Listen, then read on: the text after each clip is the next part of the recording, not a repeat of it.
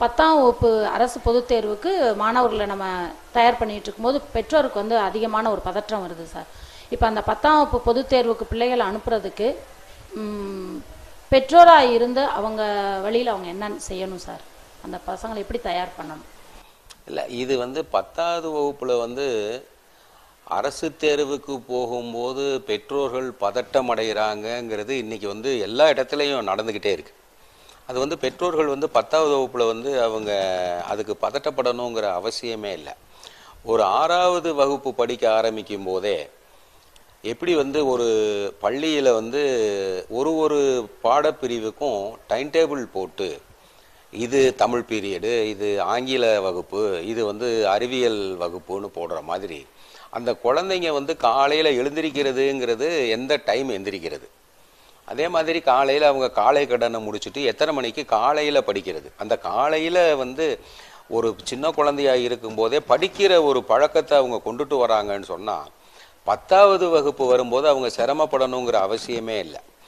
அதே மாதிரி சாயங்காலம் பள்ளிக்கூடத்தை விட்டு வந்த உடனே ஒரு குழந்தை வந்து நிச்சயமாக டிவி பார்க்கணும். அந்த குழந்தை வந்து செல்ஃபோனையும் பயன்படுத்த தான் வேணும். செல்ஃபோன் பயன்படுத்துறதுங்கிறது அந்த குழந்தைக்கின்னு சொல்லி நம்ம வந்து ஒரு செல்ஃபோன் வாங்கி கொடுக்கறது தான் தப்பு. நம்ம பெற்றோர்களினுடைய செல்ஃபோனை நம்மளினுடைய முன்னிலையில் அந்த குழந்தைங்க என்ன வேணும்னாலும் அதை பயன்படுத்தலாம். அந்த குழந்தைங்க தனியாக போய் நாம் வந்து அந்த கைபேசியை பயன்படுத்துறதுக்கு நம்ம அனுமதிக்கிறதுங்கிறது தான் பலவிதமான ஒரு தவறான ஒரு வழிக்கு போகிறதுக்கு நம்ம உண்டாக்குறோம்.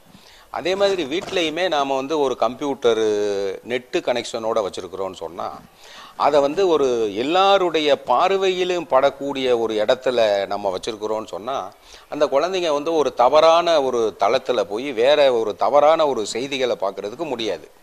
ஏன்னா இன்றைக்கி நெட்டில் வந்து நிறைய அறிவியல் விஷயங்கள் மற்ற பொது விஷயங்கள் அரசியல் விஷயங்கள் எல்லாமே நிறைய இருக்குது அதனால சின்ன குழையில சின்ன குழந்தைங்கள்ல இருந்தே வந்து நெட்டை பார்க்கறதுங்கிறது தப்போ அல்லது கைபேசியை வந்து பயன்படுத்துறதுங்கிறதோ தப்பு இல்லை அது வந்து என்ன பண்ணணும்னு சொன்னால் நம்மளுடைய முன்னிலையில் அவங்க பயன்படுத்துகிற மாதிரி பெற்றோர்கள் கொண்டு வர்றதும் அதே மாதிரி வந்து பயிற்சியை வந்து ஆறா ஆறாவது வகுப்பு படிக்கும் போதே காலையில் இத்தனை மணிக்கு எந்திரிக்கணும் இத்தனை மணிக்கு சாப்பிடணும் இத்தனை மணிக்கு நீ சாயங்காலம் வந்த உடனே திரும்பவும் வந்து விளையாடணும். இப்போ குழந்தைங்க வந்து இன்றைக்கி வந்து யாரும் வெளியில் விளையாட விடுறதே இல்லை.